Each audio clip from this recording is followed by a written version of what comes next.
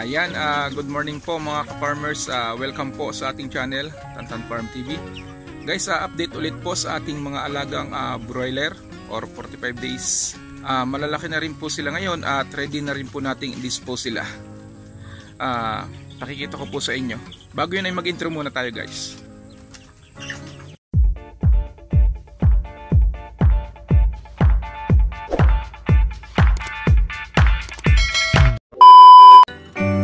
Ah, ito guys ang ating mga 45 days. Balik kung makikita nyo lahat ito sila, ah, nagtitimbang na sila ng 1.6 pataas. Tapos mamaya mayroon akong buyer na kukuha dito. Ah, ibinukod ko na yung mga pan-dispose natin. Ito. Yung iba dito 2 kilo, 1.8, 1.8 po pataas lahat itong nasa side na to. 2 kilo, uh, 2.1, 1.9 yan. Tapos ito yung ating mga ano uh, 1.6 pataas. 1.7 ganyan.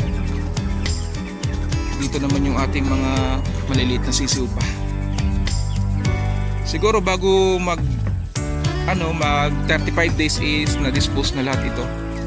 Ngayon guys is nasa 30 days pa lang sila.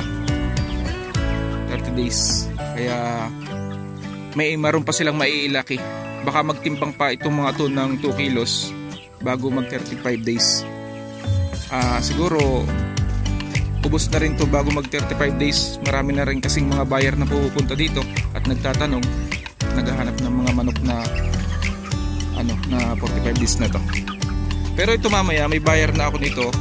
Nasa 25 uh, heads po sila lahat. Uh, didispose na natin to. Ayan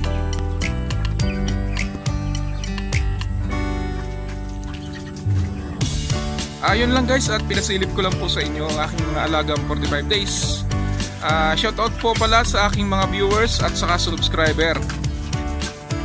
Uh, ingat po tayong lahat kung saan man tayo naroon sa ngayon. At sa lahat po na hindi pa nakapag-subscribe uh, please uh, subscribe po my youtube channel Tantan Farm TV yun lang po and bye bye po and God bless. Ingat po tayo